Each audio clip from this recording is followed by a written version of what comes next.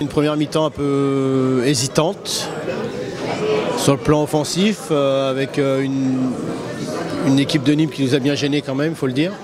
Et puis défensivement, un peu de, peu de lourdeur peut-être euh, de notre part. des déplacements un peu, un peu approximatifs aussi. après, ça s'est bien, bien débloqué en début de deuxième surtout, sur le premier quart d'heure on va dire.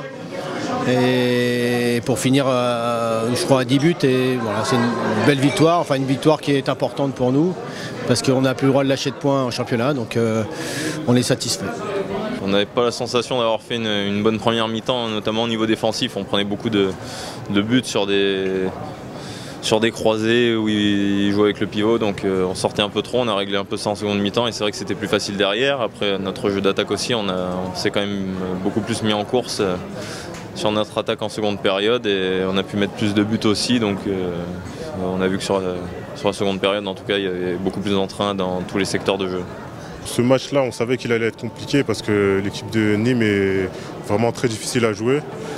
Après, on n'a pas très bien commencé, on a, peu eu des, on a un peu galéré sur le début de match. Et petit à petit, on a réussi à régler euh, tous les détails qui, ont fait qu'on n'a pas, réussi à les, contenir. Et petit à petit, ça s'est mis en place.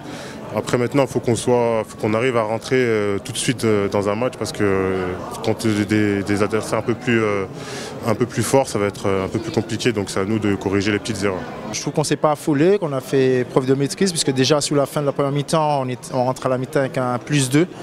Et puis, euh, bah, deuxième mi-temps, on a resserré la défense. On a pu euh, jouer sur euh, ce qui fait notre force, c'est-à-dire la défense montée de balle et marquer des buts un peu plus faciles.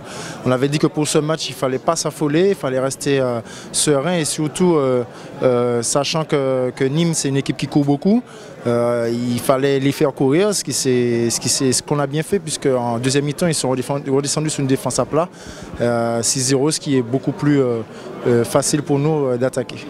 Peut-être qu'on a mal abordé le début de match euh, contre Nîmes, mais ça, il ne faudra pas le faire euh, samedi à Dunkerque, ça c'est évident. Après, euh, le match vont être différents, les, tactiques, on va dire, les façons de jouer différentes, sera différente samedi. Donc, mais c'est sûr que dans l'état d'esprit, dans l'engagement, dans la rapidité aussi d'analyse et de par rapport à l'adversaire, il faudrait être un peu meilleur que ce soir. Le résultat est positif parce qu'on gagne de, 10 buts euh, à la maison, donc euh, ça c'est très positif. Après, ce qu'il faut essayer de retrouver surtout, c'est le niveau de jeu qu'on pouvait avoir le, mois dernier sur, euh, sur la reprise après la, trêve internationale, où on était vraiment sur un sur, sur du jeu de très haut niveau, que ce soit au niveau de, l'attaque ou au niveau de la défense. Dans tous les secteurs de jeu, on était très, très performants. Il faut essayer de retrouver ça. Donc, en tout cas, c'est bien de pouvoir se donner un match euh, pour remettre un peu de confiance euh, avant, de jouer Dunkerque. Si on veut ramener un résultat de Dunkerque, il faut qu'on commence euh, à partir de la première minute jusqu'à la dernière parce qu'on sait que là-bas, ça va être très difficile. On a joué déjà en match de championnat, le match aller là-bas, on a, perdu. Donc on a aussi une revanche à prendre pour montrer peut, on peut les battre et on a les capacités pour les battre. Après, il faut la prendre vraiment très, très au sérieux parce que tout peut arriver.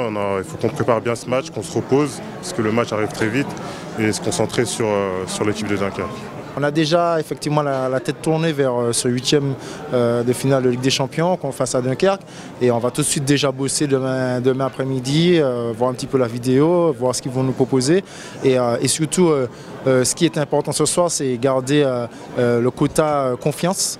Euh, gagner 10 buts, même si tout n'était pas, parfait, mais, euh, aussi ça, ça permet aussi d'aller euh, dans un meilleur état psychologique à Dunkerque.